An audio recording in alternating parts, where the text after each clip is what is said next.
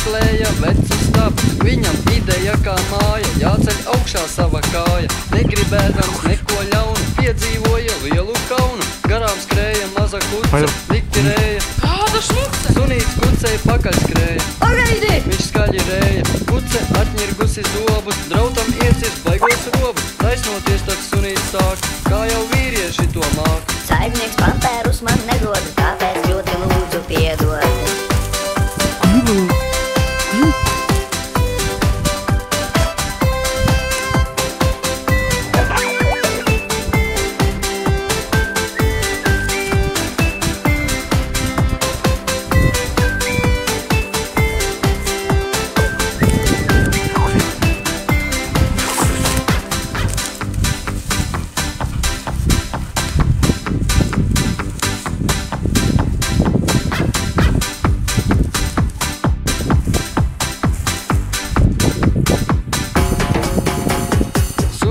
Tuvāk kucei vien, kuce nosmīn. Kur tu lien? Apsejas ap ausi banti, sunīts piecēt kucei kanti. Vai tu zini, madāmiņa, man priekš tevis kāda ziņa? Tu ar savu lielo troksni noplēsi no sirds man lokni, tāpēc gribas tevi lūgt. Pienoties un buķu plūkt, neatraidi manas jūtas, būs bez tevis dienas grūtas. Apnīk vienam blusas,